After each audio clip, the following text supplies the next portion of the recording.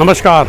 Happy new year once again और मेरे पीछे जो आप देख रहे हैं बिल्डिंग वो है डी वाई पाटिल पुणे और देखिए, जब आप बॉम्बे पुणे एक्सप्रेसवे से आ रहे होते हैं, अगर आप उस रास्ते से आ रहे हैं तो पूना शहर 25 किलोमीटर पहले से ही आप कट जाते हैं, आप इसलिए एक्सप्रेस छोड़ देते हैं।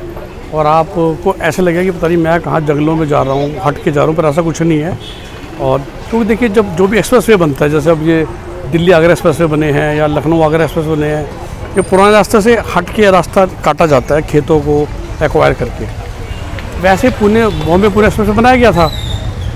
तो हम इसको ये कह सकते हैं कि it is of express way लेकिन वैसे तो ये कहते पूरी दुनिया है और बड़ा मज़ा आ रहा है मेरे को तो। बड़ी देर से मैं खा पी रहा हूँ, अगर आप दुकानें देखोगे, आपको टूर कराएँगे हम कि बहुत एक होता है चलता माहौल है ऑटो स्टैंड ही है सामने, इसका नाम है D Y Patil medical college auto stand, दुकानें मतलब वेरी वेरी वाइब्रेंट कल्चर मौसम अच्छा है पुणे का, बॉम्बे के मुकाबले।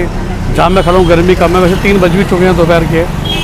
और देखिए, सबसे बड़ी पहचान होती है, मैं हमेशा ही कहता हूँ। तो फिर से अपने सारे फैक्टर टिक करते हैं D Y Patil Pune. Technically एक छोटा सा शहर है पिंपरी। जैसे आप समझ दिल्ली नोएडा होता है ना या उदयपुर के बाहर राजसमंद है, वैसे पूना का जो एक सेंट्रल होगा, उससे थोड़ा बाहर गिना जाएगा। या जो पुणे म्यूनसिपल कॉरपोरेशन हम कह लें, जैसे दिल्ली की एमसीडी है तो नोएडा दिल्ली के बाहर हो गया। सिमिलरली पूना से बिल्कुल हट, लग के ये शहर है, पिंपरी चिंचवाड़ बोलते हैं। इनके एमएलए भी अलग होते हैं, शायद मेंबर ऑफ़ पार्लियामेंट भी अलग होते हैं।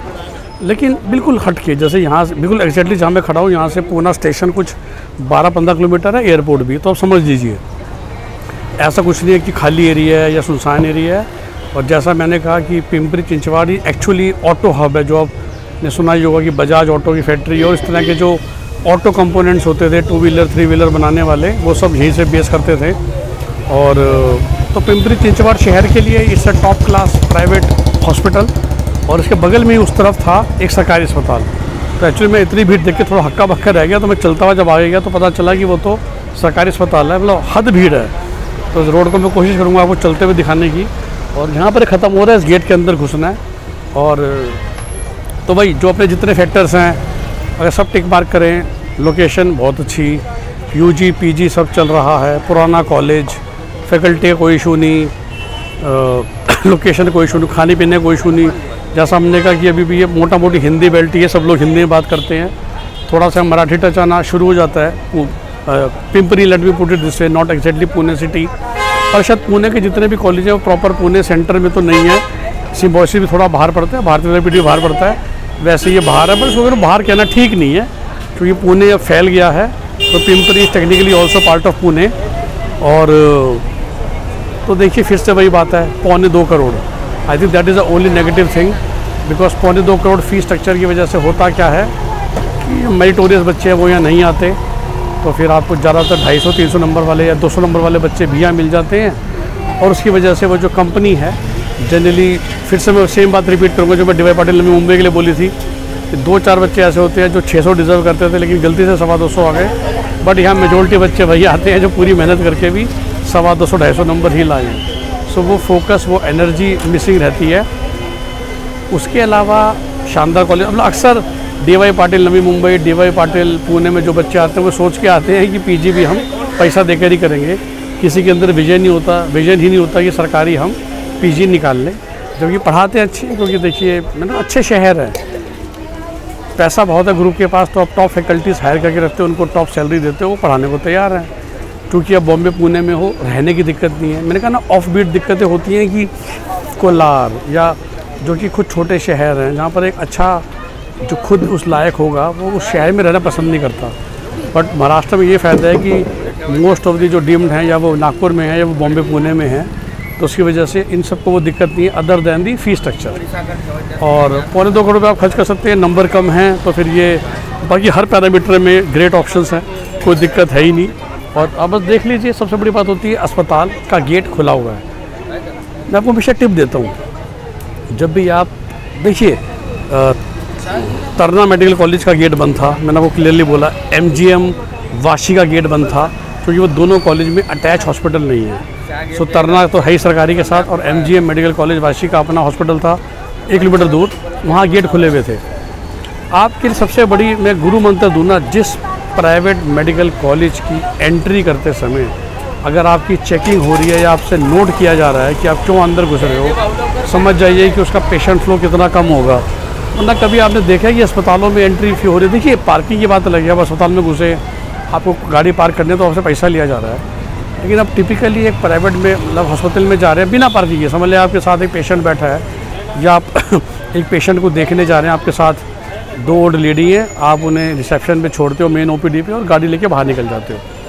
ऐसा अक्सर आपको सरकारी अस्पताल में होता मिलेगा प्राइवेट कॉलेजों में, अच्छे अस्पतालों में होता मिलेगा, जो टॉप क्लास में दिल्ली के एग्ज़ाम्पल दूँ, आप गंगाराम में एंटर कीजिए, आप रोहिणी में रहते हो, जयपुर गोल्डन में एंटर कीजिए फोर्टिस में एंटर कीजिए, मैक्स में एंटर कीजिए, आप एंटर कीजिए, लोगों उतारिए, बाहर निकल जाइए। Nobody will stop you right आपको एमरजेंसी तक जाना है, क्योंकि एमरजेंसी लड़ से दूर है और बच्चे, इंसान को चोट लग गई है।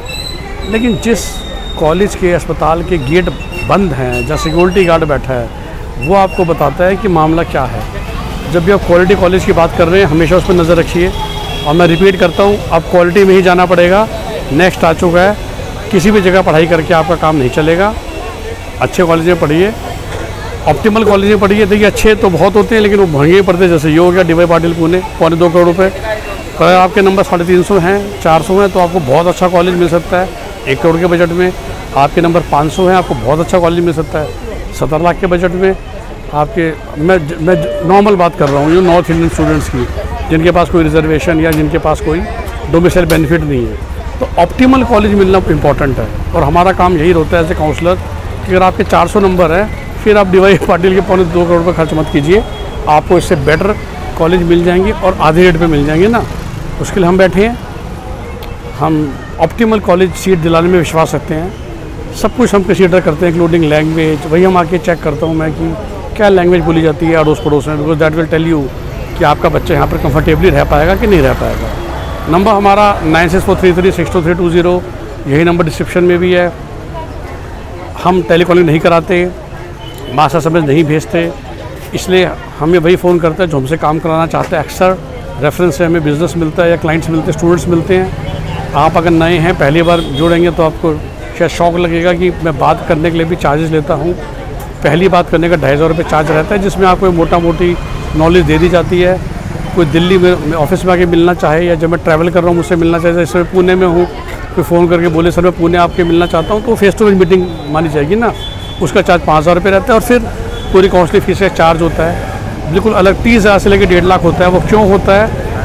वो लॉजिक का वीडियो मैंने इस वीडियो के डिस्क्रिप्शन में डाल दी है, आप देखिए, आप समझ जाएँगे okay best wishes best of luck I think that would be end for the today और, फिर कल गोवा जाते समय बाकी कॉलेज को आपको दिखाऊँगा। कोशिश करूँगा कि समय निकलेगा तो भारतीय डेविड पुणे या सिम्बोसिस पुणे को कवर करने की आज ही। बाय टेक केयर नमस्ते।